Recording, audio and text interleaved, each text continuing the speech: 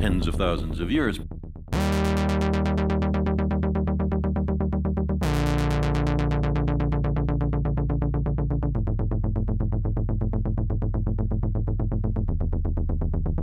Who could object to uh, humans burning oil and coal gas?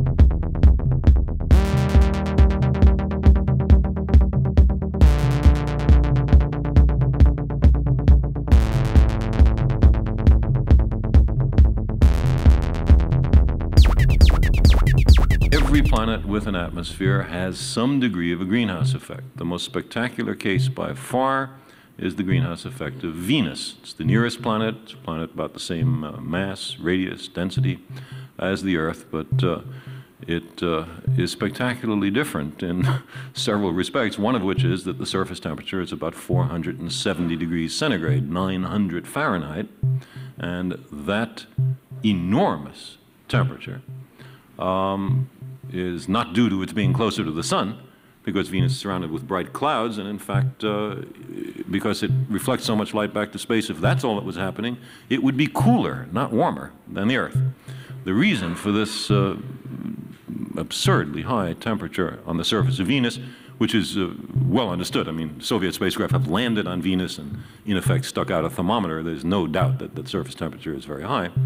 Um, and, and later U.S. spacecraft have as well. Uh, the reason is a massive greenhouse effect in which carbon dioxide plays the major role. Carbon dioxide plays the major role. role.